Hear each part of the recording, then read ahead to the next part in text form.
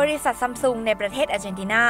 ร่วมกับเอเจนซี่โฆษณาชื่อดัง Leo Burnett ออกแคมเปญ Safety Truck รณรงค์การขับขี่ปลอดภัย เพื่อลดจำนวนผู้เสียชีวิตจากอุบัติเหตุบนท้องถนนในประเทศ ที่แต่ละชั่วโมงมีผู้เสียชีวิต 1 คน โดยสาเหตุอันดับต้นๆ เกิดจากการที่ผู้ขับขี่รถยนต์ พยายามแซงรถคันข้างหน้า แต่ไม่สำเร็จ ยิ่งเมื่อรถเบื้องหน้าเป็นรถบรรทุก